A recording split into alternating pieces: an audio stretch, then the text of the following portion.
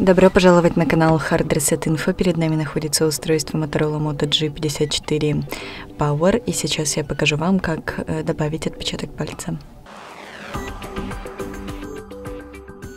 Итак, открываем приложение настройки, после чего проходим э, в раздел защиты и конфиденциальность, по-моему.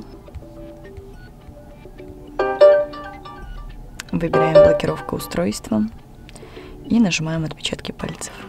Вводим пароль от экрана блокировки и нажимаем настройка. Теперь мы можем начать прикладывать палец к сканеру, он находится на кнопочке питания.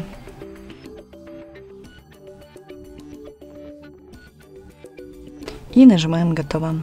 На этом все. Спасибо за просмотр, ставьте лайки и подписывайтесь на наш канал.